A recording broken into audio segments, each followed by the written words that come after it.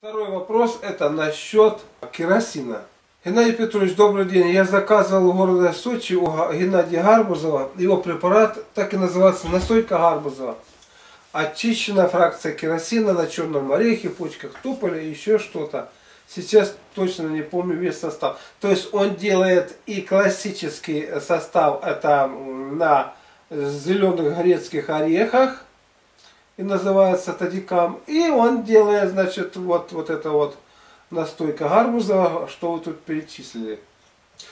Вы, я так поняли, тоже у него заказывали, судя по этикетке бутылочки, в вашем ролике. Это значит вот тодикам им изготовлены.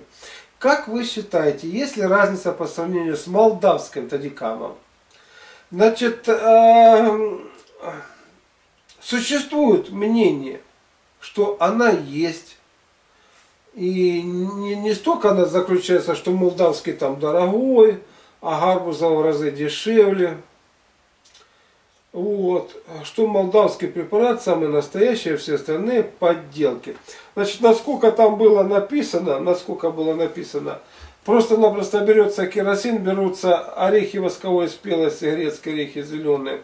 Все это настаивается. Единственное, там что-то разница в, в настаивании.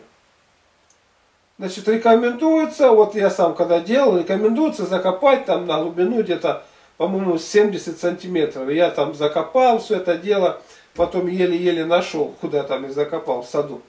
То есть вот в этом. Здесь, возможно, вот в разница в наставании и влияет. Но, но, так как я читал э, других авторов по керосину, а также использовал сам, то что я хочу сказать, э, что все-таки основным фактором является керосин.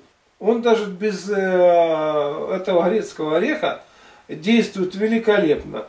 И раньше его применяли, э, особо даже не очищали, как сейчас там очищают, там вот этот осветительный керосин, который использовали в керазах, там, в лампах этих осветительных, вот его использовали все. И он работал великолепно.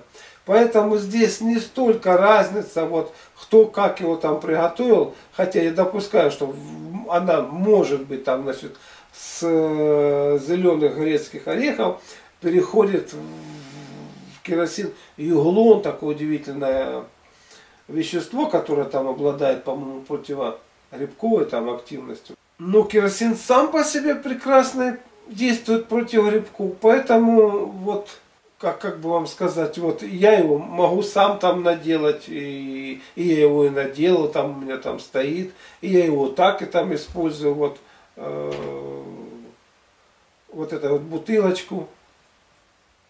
Поэтому я как-то особо не ощущаю, э, не вижу, вернее, разницы.